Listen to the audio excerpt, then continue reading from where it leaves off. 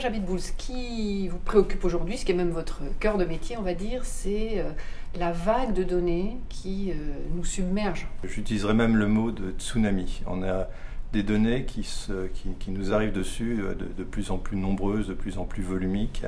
Et pour arriver à gérer tout ça, ça, devient, extrêmement compliqué. pour vous donner un ordre de grandeur, on pense que la quantité d'informations double tous les 18 mois.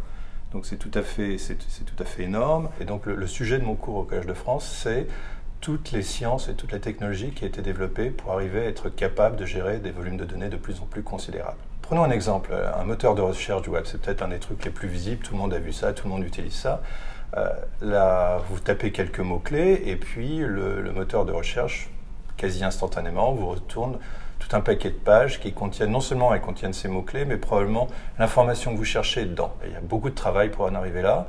Euh, si vous voulez, les moteurs de recherche, avant même que vous posiez votre requête, ils sont constamment, en permanence, en continu en train de, naviguer sur le web, d'aller chercher des pages, de les lire, de les relire parce que les pages changent sans arrêt, et puis construire un index. Mais alors cet index, vous imaginez un index de 40, 50, 60 milliards de pages, c'est quelque chose de, de taille considérable. Il faut des milliers de machines pour gérer ça.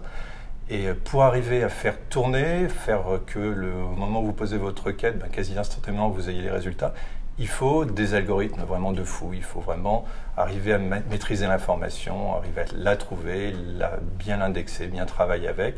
Il faut aussi des mathématiques. Hein. On ne dit pas assez, mais il y a des additions, des multiplications de matrices, par exemple, des, alors des matrices de taille euh, quasiment inimaginable. Et encore une fois, pour arriver à faire cette multiplication de matrices, ce qui serait quelque chose que vous feriez très facilement la main sur des petites matrices, bah, il faut plein d'ordinateurs, il faut plein d'algorithmiques de fou.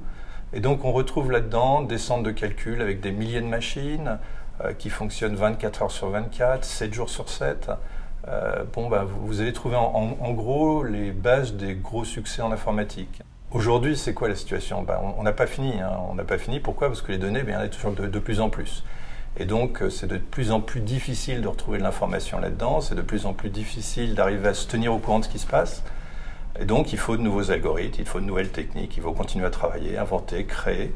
Je suis prêt à parier que dans les années à venir, ben, il y aura d'autres gens qui vont avoir d'autres idées, euh, peut-être parmi nos auditeurs, des gens qui vont avoir des idées de nouvelles applications, qui vont rêver de, nouveaux modèles, qui vont les faire tourner et qui vont nous amener de nouvelles fonctionnalités. Donc euh, bah, tout ça, euh, c'est fantastique, c'est passionnant, et puis ça garantit que pour les, les gens qui font de la recherche en informatique comme moi, on n'est pas prêt d'être au chômage.